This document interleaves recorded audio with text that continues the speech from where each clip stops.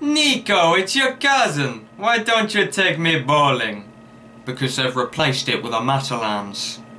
A local member of the community has told me about the impending closure of Go Bowling in Fareham. It's set to become a Matalan.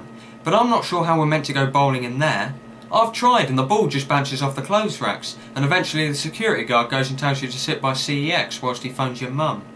I've made a pledge to protect activities for young people and I won't let this go without speaking out. A bowling alley is not just a regular business. If you're under 18 and you can't drink yet, there's very few places in Fareham you can go.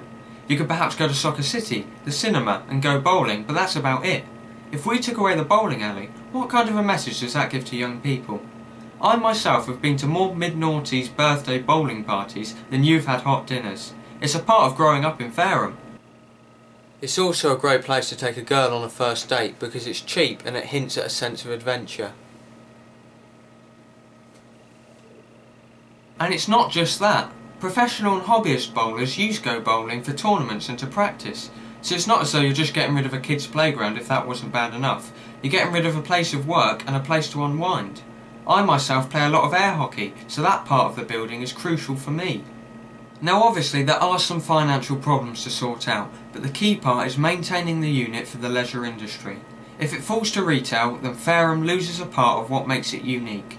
If you agree, contact the council, your local parliamentary candidates and spread the message. This is one issue we must put the barriers up for.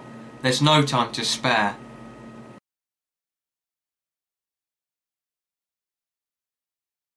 I just wanted to make this little bit separate as I don't want to steal the spotlight from a great cause. My name is Harvey Hines and I'm standing as an independent candidate in Fareham. I have pledged to protect and increase the amount of activities for young people in Fareham. Vote for me on May the 7th and I will work hard to keep our bowling alley open.